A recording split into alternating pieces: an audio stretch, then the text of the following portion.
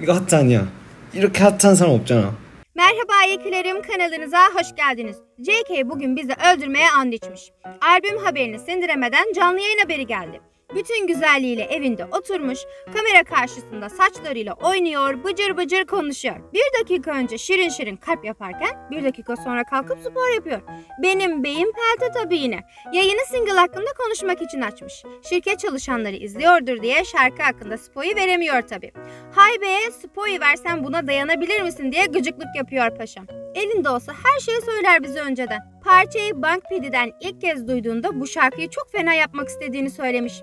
Şarkı için çok çalışmış ve çoktan bir klip çekmiş. Çekimleri sırasında çok eğlenmiş. Sadece bir single olduğu için hayal kırıklığına uğramayın. Aynı zamanda albüm üzerine de çalışıyorum dedi. Bir önceki videoda dediğimi JK ağzıyla doğruladı. Albüm de yayınlayacak yakında. Klibi de bu yayından sonra daha çok merak eder oldum. Çok sıkı spor yapıyor. Vücudu kocaman olmuş. E saçlar hala uzun. Yeni bir piercing takmış dudağına. Motor kullandığını biliyoruz. Boks da yapıyor. Böyle motorlu, üstü sahneleri olan bir klip mi geliyor acaba? Amerika'ya gittiğinde mi çekti klibi ne dersiniz? Ayrıca iTunes'taki versiyonlara bakılırsa şarkıda Jungkook'un küfür etmiş olma ihtimali çok yüksek. Çünkü iki versiyon var ve versiyonlardan birinde yazan bu kelime uygunsuz olarak nitelendirilen kelimeler olduğunu gösterilmiş. Çok sert bir yaz şarkısı alabiliriz haberiniz olsun. Daha havalı olmak ve her şeyi daha iyi yapmak istiyorum dedi. Yetenekleri say say bitmeyen biri o. Bu solo dönem çok çetin geçecek gibi. JK yayında yapmak istediğim müziği, henüz göstermediğim sesin yönselliğini ve renklerini size göstermek için çok iyi hazırlanacağım dedi.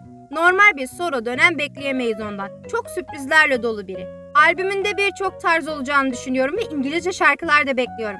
Canlı yayından hemen önce İngilizce dersi olduğunu söyledi. Dersi anlamış ama neden bu kadar zor diye şikayet edip somurttu. İşe alındım demeyi ve rezervasyon yapmak kelimesini öğrenmiş. Gelsin yurt dışı aktiviteleri. Zaten yayında 14 Temmuz'da sahne performansı yapacağını ağzından kaçırdı. Ya da kaçırmış gibi yaptı. Jungkook bugün şirkette bir şeyler çektiğini de söyledi. Bol içerikli günlere merhaba. Yayındaki spor anlarının büyüsünden çıkmayı başardıysanız yorumlarda buluşalım ilkilerim. Sizi morluyorum.